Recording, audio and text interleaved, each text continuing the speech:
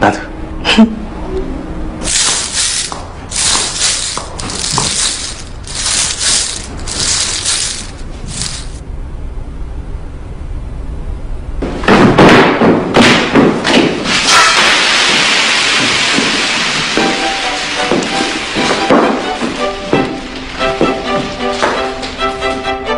다들 신발 좀 벗어볼래?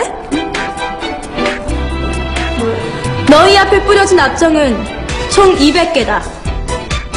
지금으로부터 딱 5분 후에 무용 수업을 시작할 거야. 선생님, 앞장이 이렇게 많은데 수업을 어떻게 해요? 5분 동안 압정 200개를 모두 찾아서 줍지 않으면 너희들의 발바닥은 아마 남아나지 않겠지? 그럼 시작해볼까?